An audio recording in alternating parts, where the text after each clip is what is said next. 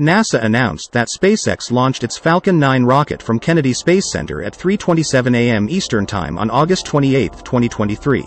The rocket carried four astronauts on NASA's Crew 7 mission into orbit before the Crew Dragon capsule they were aboard autonomously docked with the International Space Station, ISS, at 9.16 a.m. Eastern Time. The mission carried astronauts from four countries to the ISS, including Jasmine Moghbeli of NASA, Andreas Mogensen of the European Space Agency, Satoshi Furukawa of Japan Aerospace Exploration Agency, and Konstantin Borisov, a Russian cosmonaut. After the Dragon spacecraft named Endurance docked with the ISS, it brought the station's crew number up to 11.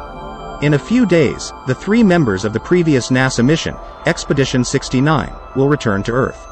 The crew will conduct more than 200 science experiments and technology demonstrations aboard station to prepare for missions to the Moon, Mars, and beyond while benefiting humanity on Earth.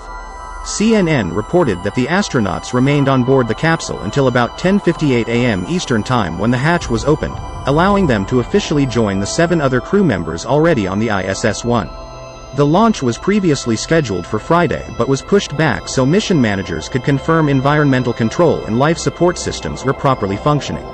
The mission was already delayed multiple times, including on two occasions to make way for a separate mission to send up the massive Jupiter 3 communication satellite. On August 27, 2023 at 3.16 p.m. Eastern Time, NASA announced that the Dragon capsule carrying the crew's seven astronauts successfully docked with the International Space Station.